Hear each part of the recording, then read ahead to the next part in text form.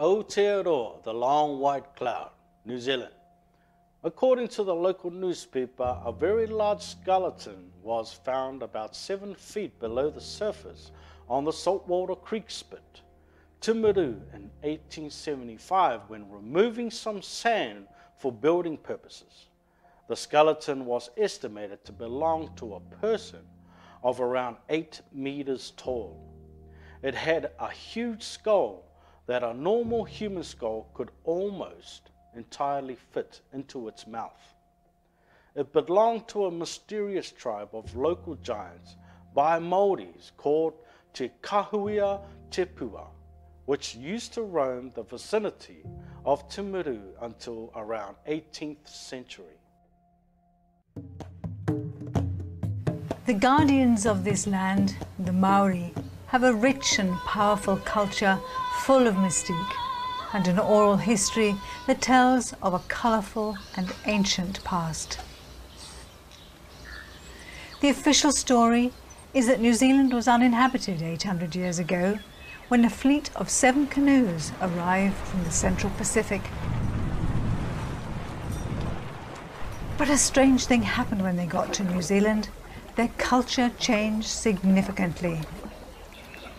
They built planked houses with decorative facades, used single canoes instead of outriggers, fashioned terraced village sites with amphitheatres, and created complex art forms not seen anywhere else in the Pacific. So what made them change? Was it merely the difference in climate? Or was it that they were influenced by people who were already living here? There are legendary stories of little blonde fairy people living in hobbit-like burrows and red-haired giants thundering across the landscape. Do these have any factual basis or are they all just fairy stories? In this documentary we're going to explore a much deeper history in New Zealand.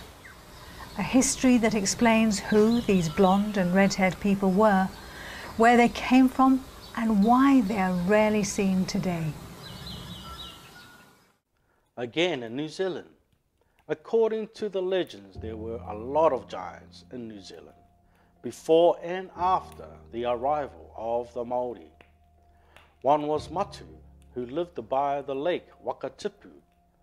Tipua means giant. He was nine feet tall.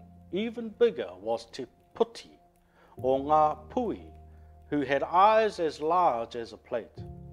The giant Tangaina lived by the Waikato River. He killed the high chief, Korongoi, but his son then killed the giant. Footprints of the giant are supposed to be found at East Cape.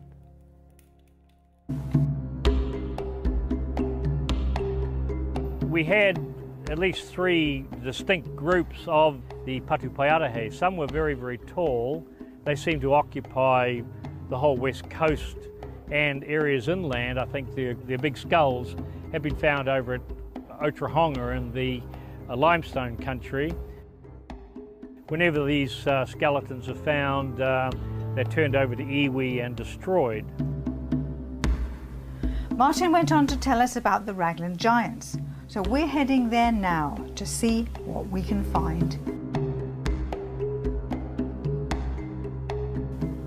When we arrived at Raglan Harbour, we noticed some flat-topped hills that according to the local Maori were fashioned by red-haired giants. These people also lived on the coast at the foot of their sacred mountain, Karioi. In a battle with the marauding Tainui, they were driven over the edge at Te Toto Gorge and their bones littered the base of the cliffs. We were told giant skulls could still be found hidden in the crevices and caves along the Raglan shoreline.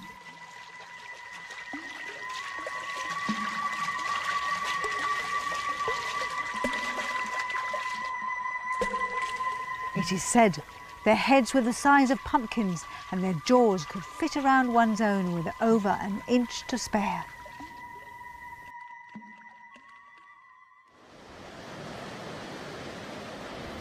Just north of Raglan is Port Waikato, where similar skeletons have been found. There are uh, two major caves in the Port Waikato area where the great big skeletons are supposed to have been found in the 1800s. And there have been a number of articles and that about them. But uh, I think a female skeleton out there was somewhere in the vicinity of seven foot or a little bit over, and there were some male skeletons found that were taller than that. People who actually went into the cave reported that there were skeletons way down in the cave, which were quite of quite tall humans, and also they had remnants of red hair on their skulls. And my DNA took me, you know, I went to Germany, into Russia, America, among the Inca people. Now, among in Peru, there's a cave there. There's painting in the caves that depict the Ngati Hotu people being chased out and getting into their boats. But to me, from my DNA, we came straight here after leaving Peru, after being driven out. In South America, there is plenty of evidence of native people with golden hair and green eyes. There is the story of Keharoi, a giant of the Ngati Raukawa and Ngati Whakatere tribes, who met his death about 150 years ago. His stronghold was Takanuipa, on the middle hill of the Three Sisters. The Chronicle Hills, which are seen close to the present motor road through the King Country, a short distance south of Puniu River. The story has it that he was twice the height of an ordinary man and wielded a hardwood taiaha of unusual length and weight. He was killed at last when he slipped on some karaka leaves as he fought in a battle just outside his pa. His enormous head presentedly decorated the palisades of Totorewa, a pa of Ngati Maniapoto, an excavation for an oven to cook the huge body was made where they fell. And in one's youth is those parts the giant grave, as it was called, in the fern, was pointed out by Maori. The spot is close to where the Toanui Hall now stands at the crossroads. Two fathoms long and a foot over is the native word of mouth record of Keha Roa's height. But let us be generous and allow that he was at least eight feet tall. There was another giant of those parts long ago. His name was Matau. Like Kiharoi, he was a man of the Ngati Raukawa tribe. His favorite weapon was the taiaha. He lived on a hill above the Wairaka River, a few miles beyond Arako. Maori accounts over that he was 11 feet high in Rotorua country, too, there are stories, no doubt based on fact, of huge warriors of the past. There was the chief Tuhourangi. For one, he lived three centuries ago. He was nine feet in height. But another place I know they did go to, definitely, was, was Mexico. Because in Mexico they found an ancient old tiki so the tiki is not a Maori emblem. It belonged to the Ngati Hotu people. And Mexico is in my DNA.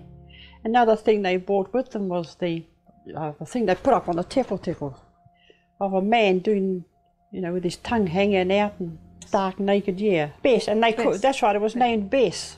Yeah. Little, little bit of a joke of man. It is an Egyptian emblem. It's not Maori at all. In other parts of New Zealand, there are old-time giant tales, and the ancestors of certain families are said to have been of uncommon size.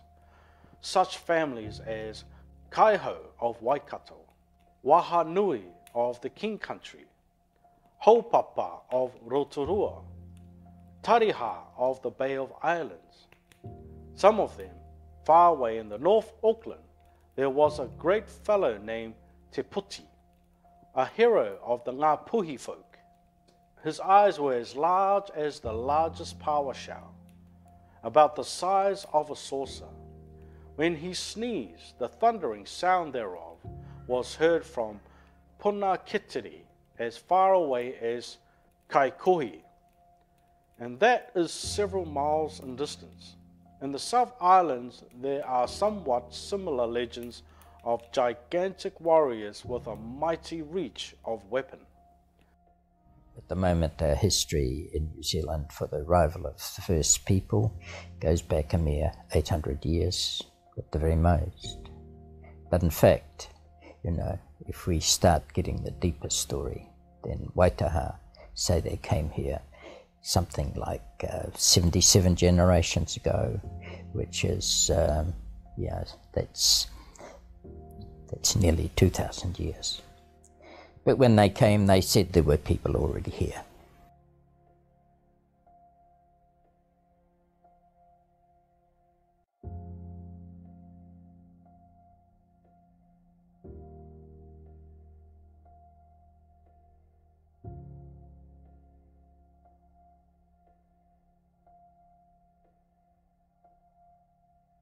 The lodge owners Murray and Jan had seen giant adzes found by Paddy and kept in a collection of artifacts by his widow, Mrs. Bella McGeady. They were 300 to 400 millimeters and obviously too big for a normal sized human to use efficiently.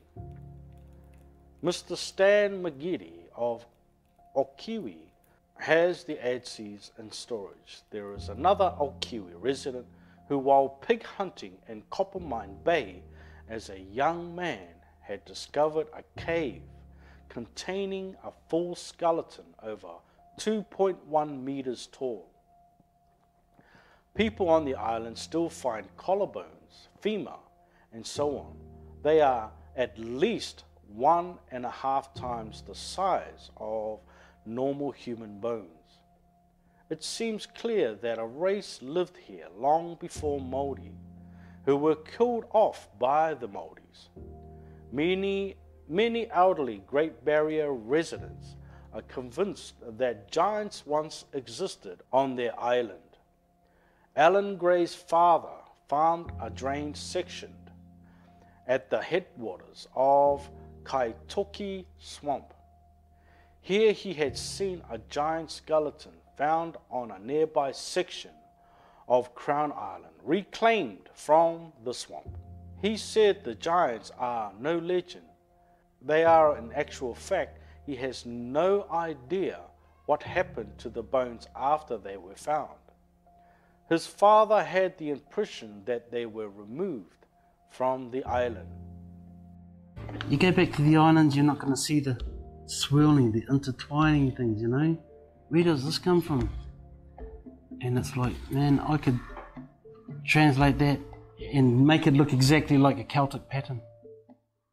You know, so we had to be influenced by peoples or surroundings that were already here.